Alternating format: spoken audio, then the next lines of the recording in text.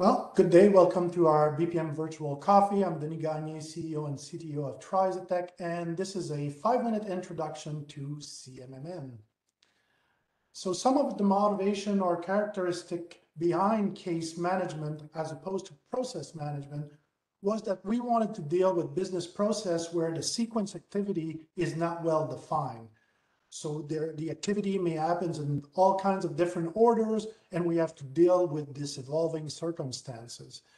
We also wanted to make sure that we depend in the, in the case on the decision by the knowledge worker. The knowledge worker is center to the notion of case management, and it's about managing a particular context, which is the case. Now, again, the performance of the knowledge worker required that we had a great deal of flexibility uh, due to the dynamic nature of the work. So think of it as your input box or your, your, your case file of manifold where different data comes into it and you have to react to this and progress with the work. Uh, it requires a lot of adaptability on the context information. And this context of information is really the case file. So we wanted to leave to the knowledge worker complete control over what to do next. Uh, so figure out what's the next best action. But we also wanted to provide some scaffolding to the knowledge worker uh, with ideas of what could be done next. And that's where the case plan model comes into, uh, into play. So CMMN stands for the Case Management Model of Notation, and it's an open standard produced by OMG. Uh, the uh, spec is available at the URL at the bottom here. Uh, I invite you to go and consult the spec. And fundamentally, uh, CMMN is about managing a context to achieve a desired outcome. And the context here is the case file. And the case in CMMN is consists of a case file and a case plan model. So the case plan model is there to help the knowledge worker to figure out what possible next action would be ideal in this context. But the activities are really decided by the knowledge worker. It provides a lot of flexibility and everything is done at runtime rather than predefined at design time, as in the case of BPMN. So we say CMMN is as easy as one, two, three because CMMN use an event condition action semantic. That means basically when a particular event happens, if a condition is met, then uh, an action is possible. And we have all the variation of this. So we can have just event condition action or just condition action or just action. So you have the full flexibility of defining these activities.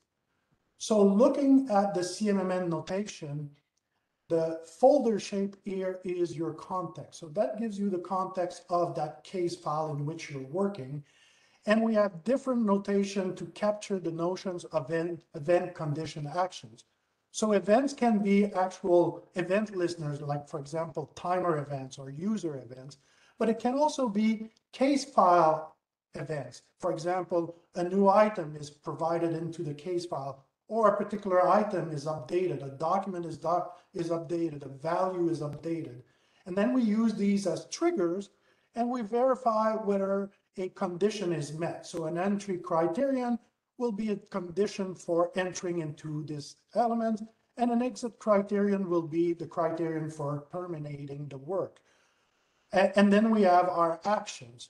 So basically the ECA here is we have a timer event. So when this event happens, if the condition here is met, then I can do this task. Now there's also the, the notion of discretionary task and the planning table here tells me and is a way to turning on and off and controlling what discretionary tasks are also available in the context. So this planning table is managing basically the floating discretionary task within this context. And this planning table on this task is managing the discretionary tasks that are attached to this particular task. So then we can have that when the event happens, if the condition is met, I'm in this action, and then there's other discretionary tasks that I can take on. And then you have the notion of stages where you can structure these plan items and mostly helping you to create some kind of the life cycle of uh, accomplishing the outcome of the case. We have the notion of milestones and different triggers. So that's a very quick and broad view of CMMN.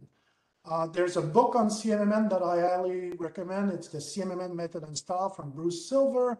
Uh, you can go and read that book. It will give you an intro to CMMN and also provide you with some style and method on how to do a good CMMN model.